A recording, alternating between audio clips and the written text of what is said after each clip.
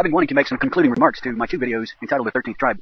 I'm focused on the person of Don Warden, the Black Panther, who, according to Percy Sutton, a civil rights activist of the 1960s in America, the United States, I should have said. Some people object to the use of America, the word America. We're not entitled to call ourselves Americans. Other Americans are offended when U.S. citizens call themselves Americans. That, I, I mention that because of supposed or real hostility by various other nations toward the United States. I believe that Don Warden, also known as Khalid al-Mansour, is uh, one of those stirring up such hatred against the United States. I'm looking hard at Don Warden, a former Black Panther, who approached Percy Sutton back in the late 80s, the, the late 1980s, and asked Percy Sutton to use his influence to ease the way for an acquaintance who wanted to enter Harvard Law School. The Black Panther, who became Khalid al-Mansour, who is busily stirring up Muslim Arabic hatred toward the United States worldwide, point number one, was promoting Barack Obama 20 years ago. Point number two, Don Warden, also known as Khalid al-Mansour, is linked to a Saudi Arabian by the name of Al-Talal, the said to be the fifth wealthiest man in the world. And greetings, friends around the world, all five of you, all five of you confused friends, probably because, wow, you know, we've got a lot of research to do, and we've got clues that are all over the place. I'm going to confuse you even more by mentioning this. The telecom boom in the late 90s, the internet stock bubble, the late 1990s, that supposedly was burst by the Federal Reserve Board,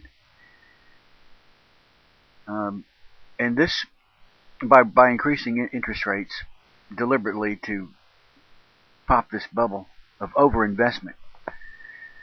Um, and the reason this bubble occurred, I believe and suspect, is because of the Fed's attempts earlier to um, um, mediate the um, Asian crisis. Interest rates were kept artificially low to deal with the Asian crisis. Low interest rates create overinvestment somewhere. Similar to the overinvestment in housing and the overinvestment in in uh, repackaged mortgages for home loans sold by Wall Street bankers around the world mislabeled as safe investments when in fact they were very risky, ready to collapse and uh, decline in value considerably back to the telecom bubble, um, prices of very, very speculative, unknown, high-tech companies went sky high, sky high. That's what I noticed, and I and I was curious why, why, why are they, why are they so high? And it was because people had money and were trying to put it somewhere, and were being influenced to put their money in so-called tech stocks, resulting in the dot com dot bomb. A lot of investors lost money. Well, I took a look at all of this, studied it real hard, the technical aspects of the internet, the internet equipment, and eventually had to resign myself to the realization that this is too technical for me. I'll never grasp it. As months passed, I began to realize, you know what? As actually a year or two, three, four years passed, I glanced back at it and and began to suspect not only is this too technical for me, it is and was too technical for those who were pushing it. I began to suspect that this was a whole lot of hype, hype, hype. The dot com boom was a lot of hype. And investors were sheepish in putting their money in these so-called businesses, which many of which were um, virtually shell businesses, phony businesses, masquerades, and of course, uh, it popped and, and investors lost their money and the, the creators of these shells had already sold at the top, pocketed the money. Wealth, a whole lot of wealth was transferred from uh, people saving for retirement to the pockets of hucksters, at least in some cases.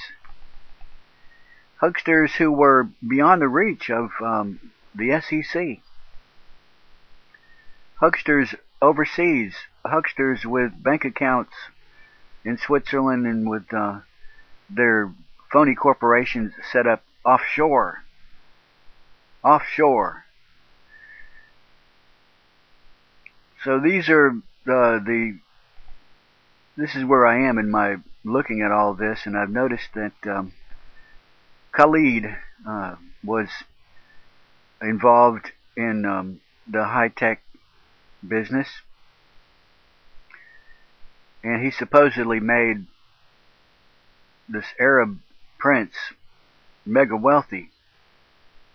And I, I'm, I haven't yet looked into uh, the sources of his wealth, but he claims that he started investing.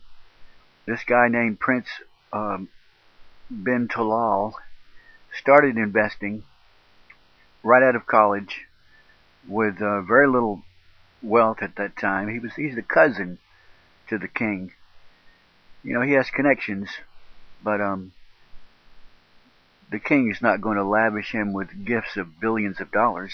How did the Black Panther Don Warden uh, hook up with the uh, Saudis?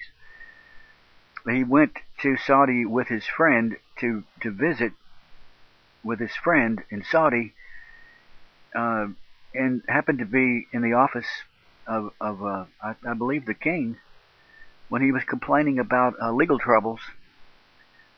Legal troubles. And uh, Don Warden, a face unknown, in the office at the time, said, um, maybe I can help you with this.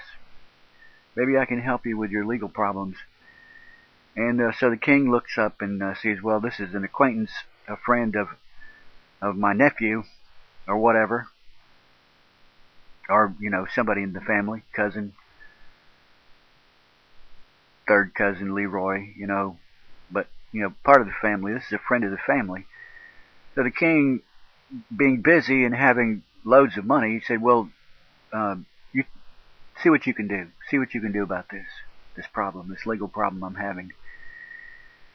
And maybe um, Don Warden uh, was successful in pulling some strings. And so he hooked up with the uh, Saudi royal family.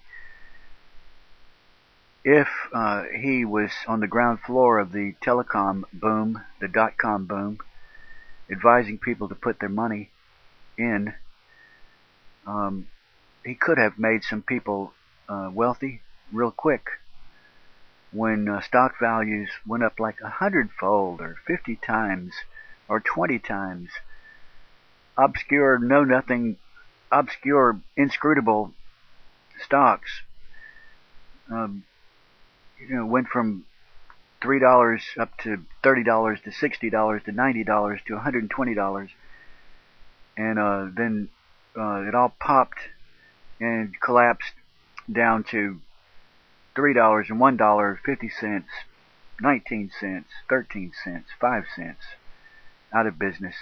The, even though the stock would uh, do a reverse split and blah blah blah. But eventually, you know what it amounts to is whoever invested in this lost all or most of their money.